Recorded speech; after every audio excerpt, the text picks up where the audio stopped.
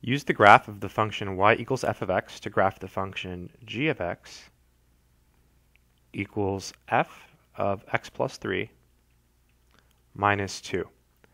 So whenever we add a number to the x value, it's backwards. So in this case, it's left 3.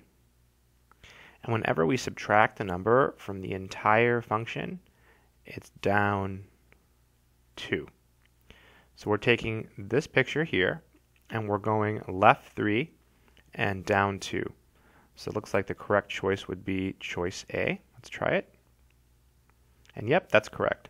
So again, whenever we have a number we're adding to the x, it's left.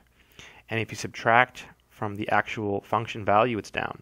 So for example, if it was f of x minus 2 plus 7, the minus 2 on the x means we would be going right 2, and the plus 7 would mean we're going up 7. Hope that made sense.